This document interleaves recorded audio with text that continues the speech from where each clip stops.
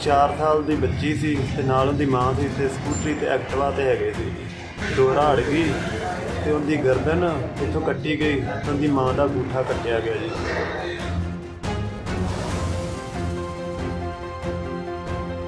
ਇਹ ਹਾਦਸਾ ਬਹੁਤ ਮਾੜਾ ਹੈ ਬਹੁਤ ਮੰਦਭਾਗਾ ਆਇਆ ਸਾਡੇ ਨਾਲ ਆਇਆ ਕੱਲ ਨੂੰ ਕਿਸੇ ਹੋਰ ਨਾਲ ਵੀ ਹੋ ਸਕਦਾ ਜੀ।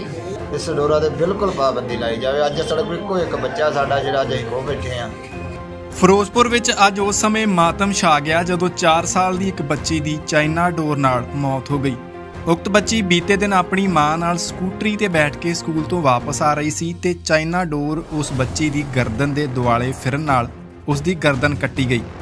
ਬੱਚੀ ਦੇ ਪਿਤਾ ਦਲਜੀਤ ਸਿੰਘ ਨੇ ਦੱਸਿਆ ਕਿ ਬੀਤੇ ਦਿਨ ਉਸ ਦੀ 4 ਸਾਲ ਦੀ ਬੱਚੀ ਆਪਣੀ ਮਾਂ ਨਾਲ ਸਕੂਲ ਤੋਂ ਪੜ੍ਹ ਕੇ ਵਾਪਸ ਆ ਰਹੀ ਸੀ ਤੇ ਚਾਈਨਾ ਡੋਰ ਨਾਲ ਉਸ ਦੀ ਗਰਦਨ ਕੱਟੀ ਗਈ। ਬੱਚੀ ਨੂੰ ਹਸਪਤਾਲ ਵਿੱਚ ਦਾਖਲ ਕਰਾਇਆ ਗਿਆ ਤੇ ਡਾਕਟਰਾਂ ਵੱਲੋਂ ਉਸ ਦਾ ਇਲਾਜ ਸ਼ੁਰੂ ਕਰ ਦਿੱਤਾ ਪਰ ਅੱਜ ਸਵੇਰੇ ਬੱਚੀ ਦੀ ਮੌਤ ਹੋ ਗਈ।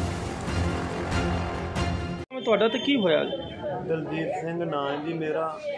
ਮੇਰੀ ਬੇਟੀ ਕੱਲ ਸਕੂਲੇ ਆਈ ਸੀ ਜੀ ਤੇ ਛੁੱਟੀ ਹੋਣ ਤੋਂ ਬਾਅਦ ਵਾਪਸ ਜਾ ਰਹੀ ਸੀ ਤੇ ਛੇਖਾਂ ਵਾਲੀ ਬਸਤੀ ਪੈਟਰੋਲ ਪੰਪ ਦੇ ਕੋਲ ਡੋਰਾ ਅੜ ਗਈ ਤੇ ਉਹਦੀ ਗਰਦਨ ਇੱਥੋਂ ਕੱਟੀ ਗਈ ਤੇ ਉਹਦੀ ਮਾਂ ਦਾ ਅੰਗੂਠਾ ਕੱਟਿਆ ਗਿਆ ਜੀ। ਉਸਥੋਂ ਉਠਾ ਕੇ ਅਸੀਂ यहाँ पे ਟ੍ਰੀਟਮੈਂਟ ਕਰਤਾ ਤੇ ਜੀ ਅੱਜ ਤੜਕੇ ਖਤਮ ਹੋ ਗਈ ਜੀ ਕਿੰਨੇ ਸਾਲ ਦੀ ਕੁੜੀ ਸੀ ਤੇ ਕਾਹਦੇ ਤੇ ਸੀ 4 ਸਾਲ ਦੀ ਬੱਚੀ ਸੀ ਤੇ ਨਾਲ ਉਹਦੀ ਮਾਂ ਸੀ ਤੇ ਸਕੂਟਰੀ ਤੇ ਐਕਟਿਵਾ ਤੇ ਹੈਗੇ ਸੀ ਜੀ ਤੁਸੀਂ ਸਮਝਦੇ ਵੀ ਜੇ ਜਾਨਲੇਵਾ ਡੋਰਾ ਹੈਗੀ ਹੈ, ਇਹਦੇ ਤੇ ਪੂਰੀ ਤਰ੍ਹਾਂ ਪਾਬੰਦੀ ਲੱਗਣੀ ਚਾਹੀਦੀ ਹੈ ਪੂਰੀ ਲੱਗਣੀ ਚਾਹੀਦੀ ਜੀ ਇਹ ਡੋਰਾ ਬੰਨੀ ਨਹੀਂ ਚਾਹੀਦੀ ਪ੍ਰਸ਼ਾਸਨ ਨੂੰ ਵੀ ਸਾਡੀ ਰਿਕੁਐਸਟ ਹੈ ਕਿ ਇਹ ਹਾਦਸਾ ਬਹੁਤ ਮਾੜਾ ਹੈ। ਬਹੁਤ ਮੰਦਭਾਗਾ ਆਇਆ ਸਾਡੇ ਨਾਲ ਆਇਆ ਕੱਲ ਨੂੰ ਕਿਸੇ ਹੋਰ ਨਾਲ ਵੀ ਹੋ ਸਕਦਾ ਜੀ।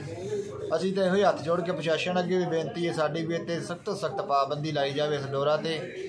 ਇਸ ਡੋਰਾ ਤੇ ਬਿਲਕੁਲ ਪਾਬੰਦੀ ਲਾਈ ਜਾਵੇ। ਅੱਜ ਸੜਕ 'ਤੇ ਇੱਕੋ ਇੱਕ ਬੱਚਾ ਸਾਡਾ ਜਿਹੜਾ ਅੱਜ ਖੋ ਬੈਠੇ ਆ ਤੇ ਕਿਰਪਾ ਕਰਕੇ ਸਾਡੀ ਇਹੋ ਹੀ ਬੇਨਤੀ ਹੈ ਵੀ ਇਹ ਤੇ ਸਖਤ ਤੋਂ ਸਖਤ ਕਾਰਵਾਈ ਕੀਤੀ ਜਾਵੇ।